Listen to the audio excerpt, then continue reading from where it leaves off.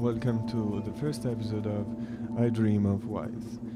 I Dream of Wwise wants to be and hopefully will be a series of videos regarding Wwise and specifically uh, some tips and tricks about Wwise, maybe some kind of hidden features in Wwise and uh, some workarounds that I was able to to create in some projects I worked on. So in today's uh, video, we'll take a look at driving RTPCs via MIDI through Max. And uh, I came up with this thing uh, because I was working in this project.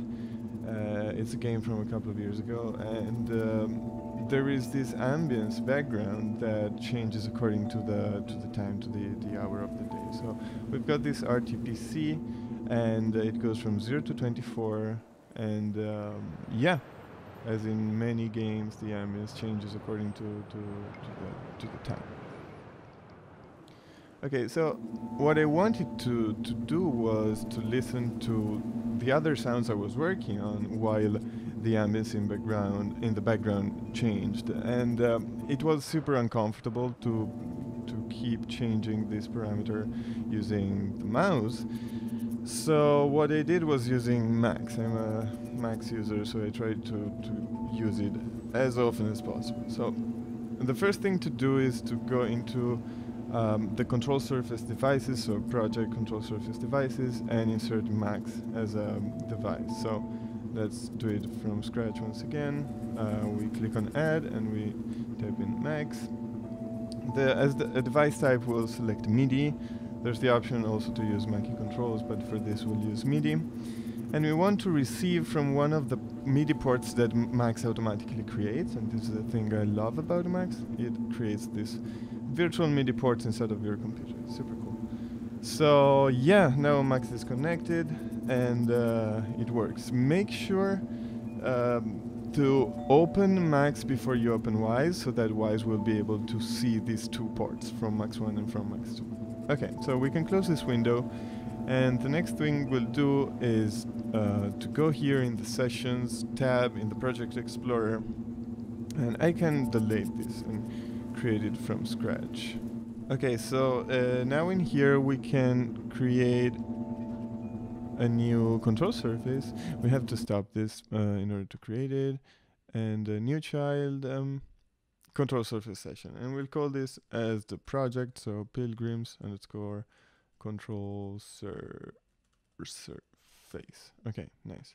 So let's double click on it and see what's inside. This um, there's three groups global current selection and view groups and today we'll only talk about the global group because it's the one I'm going to use with Max. And basically what global means is that our MIDI controller won't affect the current selection, but an object that we specify, okay? So be it an RTPC, be it um, event, whatever. In this case, we want to always affect an RTPC, okay?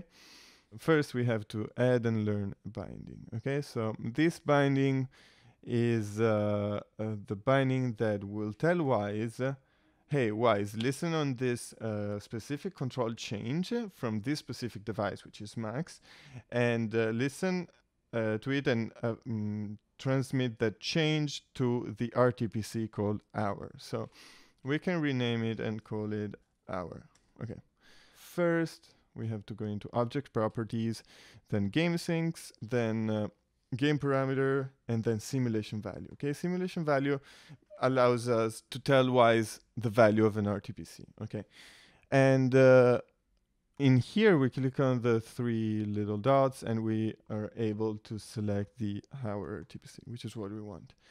The last thing we have to do uh, is to specify what MIDI uh, control change we want um, Wwise to listen to. And here is when Max comes into play. So uh, we'll create a control out control out object that will work on the uh, from max one port and on channel one. Okay, this is cool. And we'll create a message, just a test message that will be 127.1, which means uh, use the control change 1 and give it a value of 127. So let's see if it gets it. Nice. Okay. As you can see, controller assignment is from max, the device called max, channel 1, control change 1. Okay? Which is the modulation wheel, but it doesn't really matter.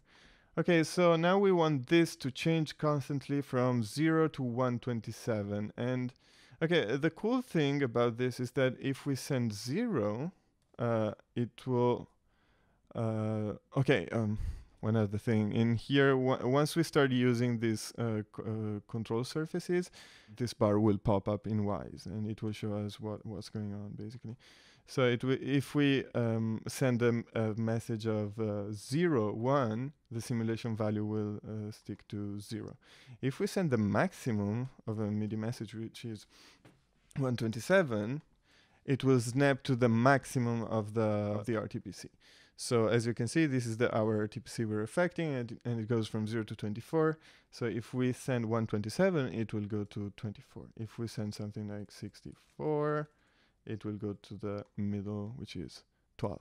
Okay, nice. So we want this to cycle through 0 and 127, so we'll use the object called line. And uh, uh, yeah, the message will be 0, comma 127, so go from 0 to 127 in a specified amount of time. So we use dollar sign 1, and we create an integer box in here. And in the integer box, we want to uh, insert the, the time in milliseconds. Uh, we type like 4 seconds, 4000. And yeah, this value goes from 0 to 127 in 4 seconds. Nice. So it's working. And the only thing uh, that's left, well, it's not the only thing, but we need to append 1, which means that we want to put a space and a 1 after the value that comes from this line.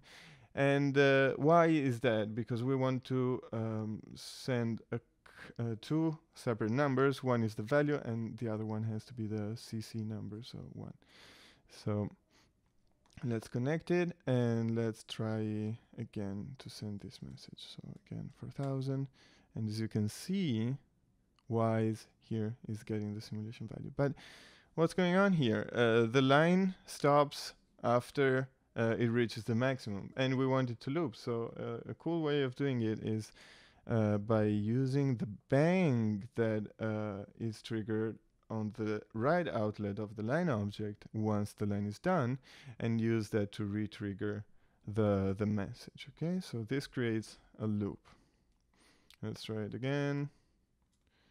And let's see here, it goes up to 24 and then it loops. Super cool. But yeah, this would be infinite, so uh, it's always a good idea to create a stop message and connect it to the line object. And when we want to stop, we just click on stop. Okay, so yeah, this was my way of uh, uh, auditioning. Well, let's audition it. Uh, this is it. It changes over time. Right now, of course, the change is super fast, but let's say we set it to 20 seconds. This makes much more sense.